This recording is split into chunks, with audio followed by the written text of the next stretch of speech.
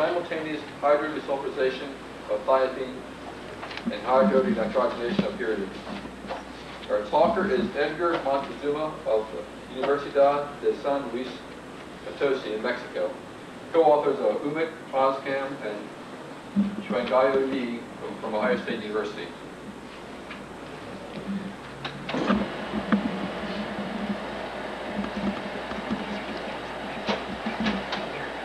Okay, introduction said my name is Edgar Montezuma and I come from Mexico. Uh, the thing is I'm coming from Mexico and I did some work at Ohio State because I was a graduate student there. One of the research that I did at Ohio State was about nickel molybdenum or gamma alumina catalyst for simultaneous hydrodesulfurization, including in the HDN of the pyridine. Uh, seems that this topic is quite studied, uh, we'll have to look for some openings in the research area. We we started to looking in the alumina catalyst. For, from this slide, the only thing that I want to point out is about the reactions. I use the model compounds, thiophene, and use hydrogen to produce the C4 hydrocarbon and some looking at the H2S. And also I look on the pyridine uh, reaction with hydrogen to produce the pentanes and the uh, ammonia. Um, what I did for the research was looking on the supported catalyst and the supported catalyst. This time I'm going to talk about the supported catalyst on the alumina uh, based catalyst. What were the steps on the research? We produced the catalyst by wet impregnation of the alumina. We did some characterization of the oxidic phase. Uh, did, we did the reaction experiments. Thiophene ATN, pyridine HDN, and simultaneous HDS HDN.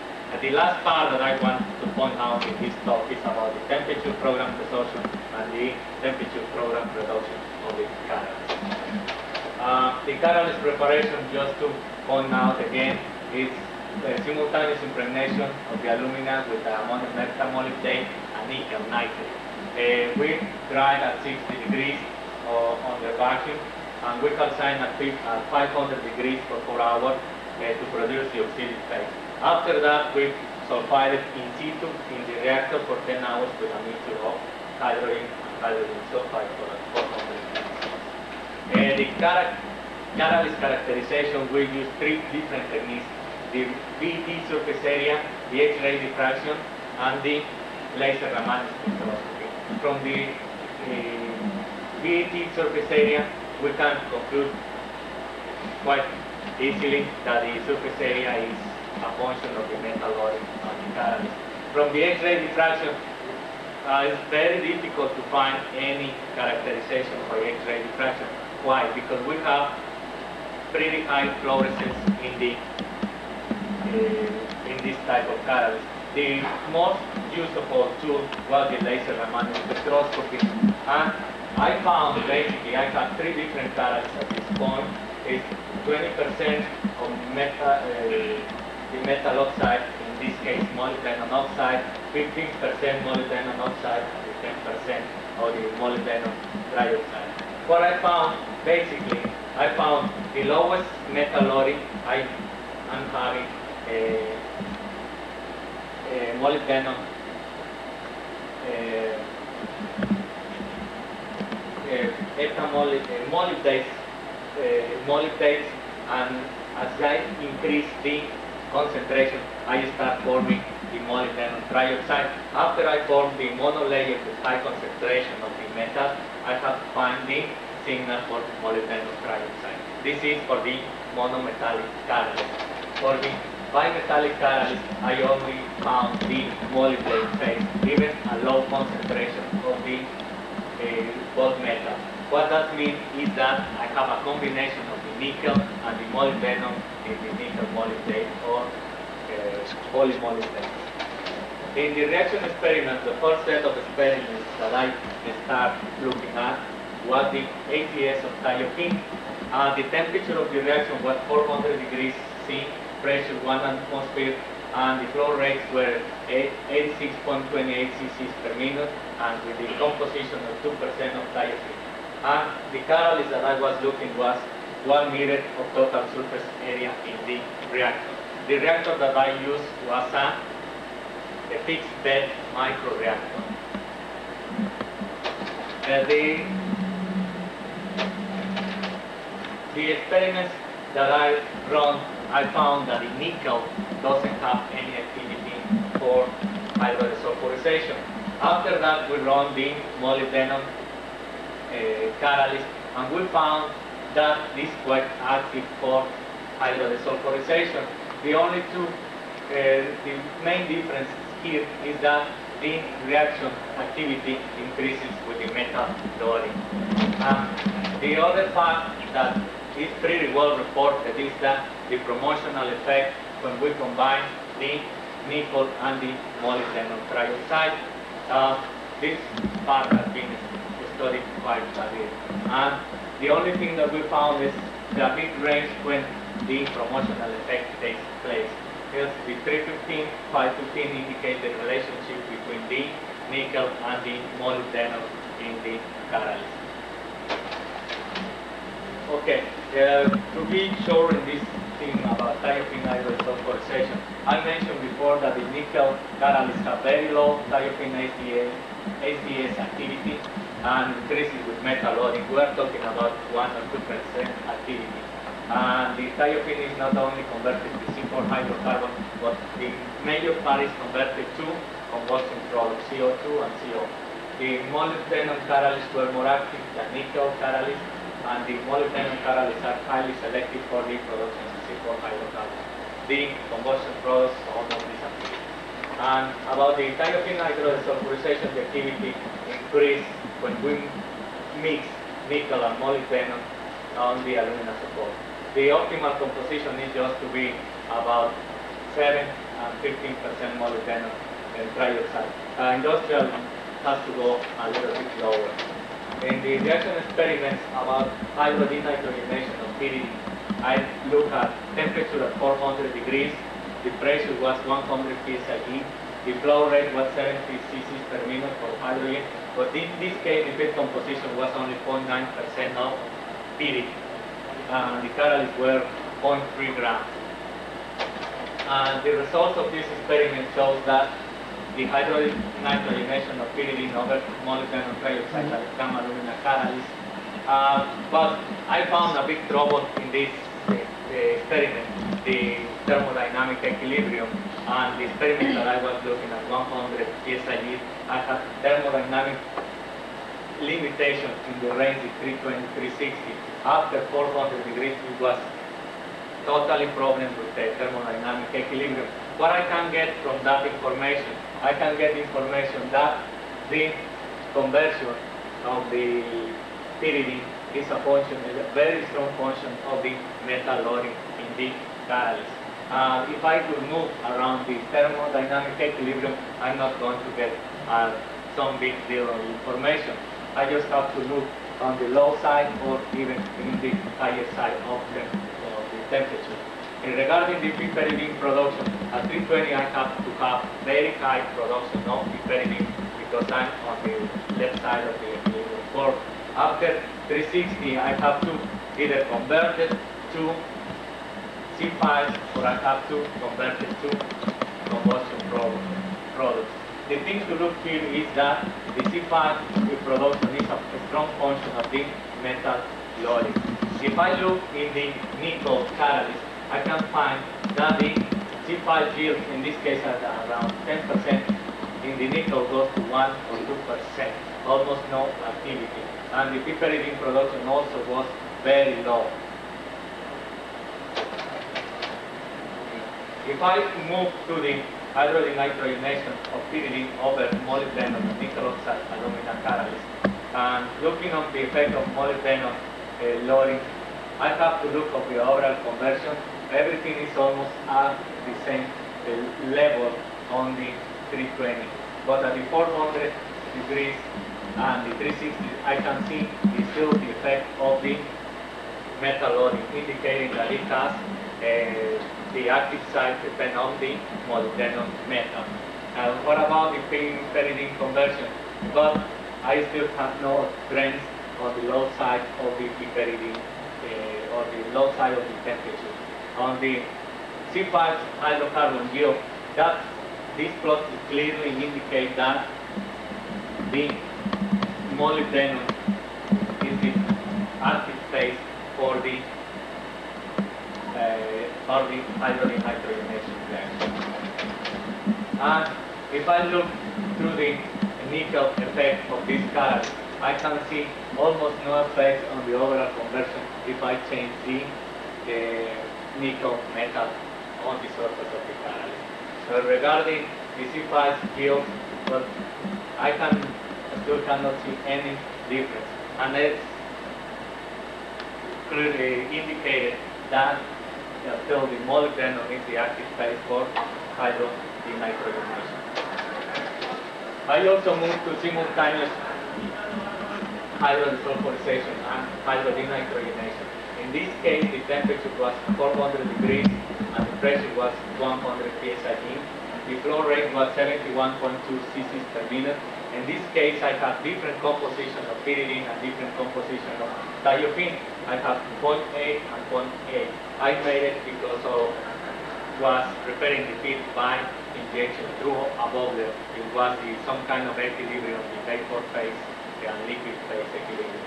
The catalyst was 0.3 grams for the, for the monometallics indicating molybdenum or nickel catalyst and 0.2 grams from for the bromored catalyst. The, the results now change uh, quite a bit. Uh, the thiophene conversion increases pretty drastically than the other experiment, basically because I'm comparing reaction at 1 psi at uh, 14.7 at atmospheric pressure and 100 uh, psi. In this case, it's again clear that the molybdenum is, in, is quite active for the reaction because we're increasing the concentration, will have to increase the conversion. In this case, the pyridine conversion is lower at 320 and, uh, than the 360 and a little bit lower than 400. Something should be happening here regarding the thermodynamic equilibrium. Something is uh, pulling the thermodynamic equilibrium to the production of the pyridine and finally to the C5 hydrocarbon. Uh, the simultaneous hydrodesulfurization of thiophene and over the simultaneous HDS, HDN over the molybdenum and nickel alumina. And I'm looking on the effect of molybdenum loading, and I have again the 320, 360, and 400 on the thiophene, uh, on the thiophene conversion. But I still can not see many difference at 400 because I'm having high concentration of the metal on the surface. Um, at 360, um, we have not enough energy for the reaction. And regarding the pyridine conversion, that's the important part to look about this reaction experiment. In this case, we are looking for a maximum at 360 uh, compared with 320 and 400. In this case, at 360, we think that the hydrogen sulfide or the any of the sulfur compounds is playing an important role on the HDN reaction rather than just the metal. Or, and the conclusions about this part is that the pyridine hydrogen nitrogenation. Uh, all the reaction experiments show that, the, that nickel catalysts are not very active for pyridine and the molybdenum catalysts are more active for hydrogen nitrogenation. And in the, regarding the nickel molybdenum catalyst, uh, would have a big promotional effect uh, on the HDS, but we don't have any promotional effect on the HDN reaction, indicating that only the molybdenum active sites are involved, involved on the HDN reaction. Uh, regarding the products of the reaction, the piperidine was not found in the uh, product stream, suggesting that the hydrogen sulfide somehow increases the activity or enhances pyridine hydrogenolysis. And in this case, see HDN active sites are regenerated during the hydrodesulfurization reaction. I made a mistake here, it should be HDS. And just to be on the track of the catalyst composition that resulted on the, more, the higher activity was 3 to 5% of nickel oxide and 15% of molybdenum dioxide. And at this point, I'm moving to something that uh, something new about the characterization of the sulfide phase. In this case, I'm looking for the temperature program desorption or TPD. In this case, I use the same reactor, but I put the chromatograph is directly online uh, all the time passing through the GC column. And a small amount of catalyst is placed in the reactor and is heated in the furnace with a temperature program. In this case, I use helium as a linear gas and after sulfiding the reaction, after sulfiding the catalyst, I submitted to a linear temperature program and the amount of dissolving gas, in this case hydrogen sulfide, uh, was monitored through a GC as a function of time. And in the temperature program reduction, I changed the pure helium to the helium hydrogen and measure the production of hydrogen sulfide. This kind of form for the three catalysts that I use for this experiment. I use alumina, nickel oxide and alumina, molybdenum oxide and alumina, and the bimetallic catalyst. The important feature of this figure is that there is a low temperature desorption curve uh, in each of the catalysts and it seems to be the same for each of the catalysts. But the second part of the desorption curve appears a different point, indicating that there is a characteristic point of the desorption curve depending on the metal that I have on the surface.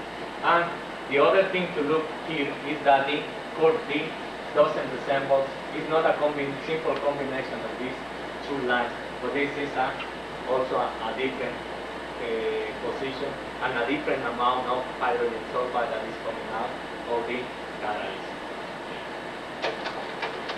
After uh, the desorption, I supplied hydrogen to look through the TPR reduction of the TPR experiment and the same catalyst.